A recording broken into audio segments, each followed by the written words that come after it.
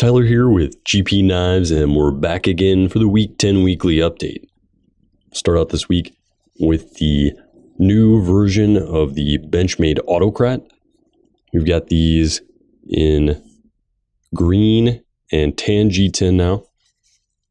They come with a black DLC coated S30V blade. You can see it's a double edged blade with a chisel grind well, you don't see any of the edge on the back there. All black hardware as opposed to the jeweled hardware on the original, and the same overall construction with deep carry stainless steel pocket clip and snappy double action out the front automatic mechanism there. We also have all four variants of the new Spyderco Pacific Salt 2 so these have an Endura style handle with bidirectional texturing, four position hourglass clip in titanium, and you've got a black coating on all the hardware clip and backspacer. Since this is a salt series, they've got no internal liners. See if we can get a shot of that there. So you can see there's some internal molding for structural rigidity and there's a little bit of flex, but not much. Also helps keep the overall weight of the knife very low. Nice smooth operation. And again, we have these in all four variants, all with H1 steel and a hollow saber grind.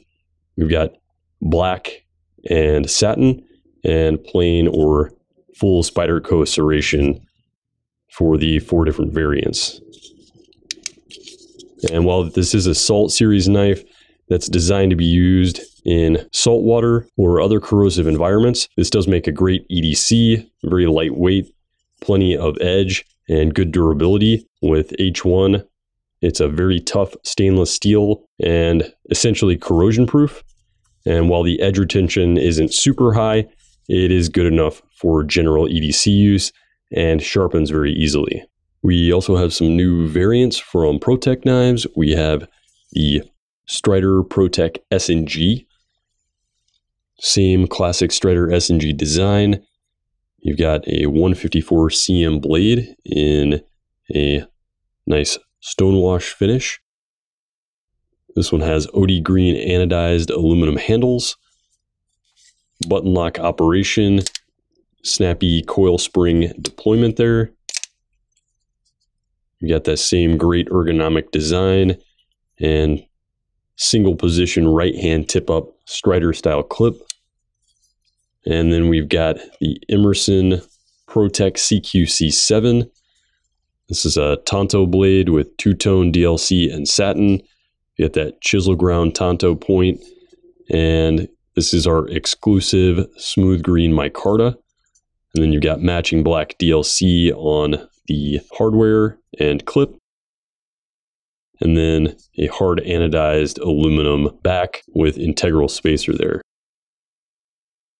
And again, you get that nice snappy coil spring operation. And as with all ProTech knives, these are made in the USA with 100% US materials. Next, we've got a nice little fixed blade from LionSteel of Italy. This is the much anticipated B35 somewhat of a hybrid between their popular B40 model, the Bushcrafter, and the M4, which is just a nice mid sized outdoor fixed blade. As with the B40, we've got Sleipner tool steel, a modified D2, great performance with that. You got a full height flat grind, a bit thinner on the stock with a nice taper out to the point for good piercing and slicing. As with all of their knives, you've got a nice crowned spine, runs right into the contoured handles. We've got wood, G10, and of course the green canvas micarta here, my favorite. You got a nice lanyard hole, which is chamfered there. And then you've got a 90 degree spine on the end tang here for ferro rod striking. So this is a great compromise for outdoor and bushcraft use. And it's a good size in general and fairly lightweight. And it comes with a nice high quality Italian leather sheath. So if you're looking for a great all purpose outdoor knife this is going to be a great option. We have some new releases from Zero Tolerance and Kershaw. This is the ZT0357, uh, newest in the 300 series.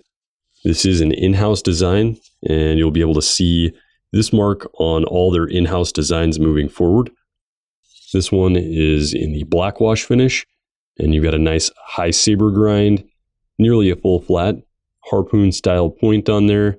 So you got a nice taper while still being fairly durable. Thumb scoop gives you a nice option for multiple grip positions, some spine jimping. You've got black G10 that's fairly coarse over stainless steel liners. You've got a nice nearly full length backspacer there. Lanyard hole, reversible deep carry clip for tip up only carry. It is a stainless steel liner lock and a speed safe assisted flipper. So you get that nice snappy deployment and a nice solid lockup and smooth operation with the stainless steel lockup. We've got that in the black wash finish here. And then you've got what they're calling a working finish, which is a blasted and tumbled finish. So a bit more non-reflective as opposed to a standard stonewash. And on this one, instead of the black liners, you just got the standard gray stainless steel liners. Otherwise identical there.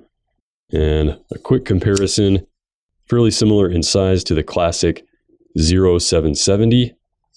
So if you like the 770, and you're looking for something a bit more robust, but with some of the same great features, such as the stainless liner lock, deep carry clip, and high performance blade, then the 0357 is going to be a great choice for that. From Kershaw, we've got the new Launch 11 that was released at SHOT Show this year. Same great materials as the rest of the launch line, CPM 154 with a black wash finish, hard anodized aluminum handles, we got a nice brass pivot ring there, button lock operation, a slimline clip for carry, and that is reversible for left or right hand tip up carry. You got a nice cutout in the handle and a semi-integral construction. You could loop a lanyard through this back part right here for inline lanyard attachment. And this is just a great all-around EDC size. You got a nice full four finger grip nice index finger choil, a bit of jimping on the spine, a good reverse tanto blade with a nice belly on there for slicing, and just a great balanced all around EDC design. And I'll show you with the new dividend here. So you can see just a bit smaller than the dividend all around. You see it's got the same relatively thin blade stock, but thanks to that grind there, get a bit more thickness out towards the tip. And that'll bring me to the dividend here. This is the new version with a composite blade of Sandvik stainless steel and CPM D2 for the cutting edge. So you're going to get great performance with that, plus the added style there. OD green handles with some nice milling, stainless steel liner construction with speed safe, and they went with a nice deep carry clip on that. That is four position for left or right hand carry. And while we do have some other new models from Kershaw, I'm just going to pick one more of my favorites from SHOT Show this year. This is the Tumbler designed by Dmitry Sinkevich. You've got a D2 tool steel blade with kind of a Skinner profile there tumbled on the swedge and the grinds, satin on the flats. You've got a carbon fiber over G10 handle with some nice milled texture, custom style pivot. You've got a three quarter length backspacer that rides proud to the handles there for an even more contoured look and feel. Custom end position deep carry clip that can be reversed and a nice stainless steel subframe lock, as well as the KVT ball bearing pivot system for smooth operation and fast deployment. And thanks to the lack of stainless steel liners You've just got that stainless steel sub frame lock mounted in there. And that makes this a very lightweight knife that fits great in the hand.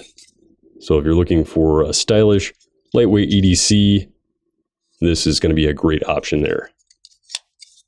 And last but not least, we have the Fox Knives Livri, as well as the Fox Knives Libar. So these are modern traditional slip joints. The Livri has a sheep's foot style blade, while the Libar has a Bowie style clip point, which has a nice recurve on there. We've got these in a few different variations.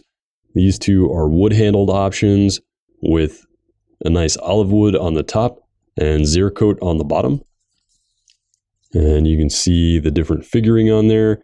You can also see that sometimes you're going to get something with a little less figuring or a bit more. So natural variation in the materials. These are made in Italy with satin finished Böhler M390 blades. The wood handled variants have stainless steel liners and of course a stainless steel backspacer with half stop operation. And then they also make these models in carbon fiber and green canvas micarta. And those models are going to be linerless, and that's due to the stability of the materials. So we've got the carbon fiber Libar here. Again, got a nice solid half stop there. You can see fairly strong on the back spring for closure. And it does have a bit of a ricasso there with jimping on the spine. So you do have a fair amount of control and safety. And as you can see, pushing pretty hard on the blade there without it closing. As with any slip joint though, you do want to be careful of that. Nice solid snap closure. And of course, with most traditionals, you're not going to have a clip, but it does have a hollow tube for lanyard attachment and includes a nice leather slip pouch for pocket carry. Again, this is Tyler with GP Knives and your Week 10 weekly update. Thanks for watching and stay sharp. If you like what you've seen today and you'd like to see more, follow us on social media, like the video below, and subscribe to our YouTube channel feed for updates on all new products.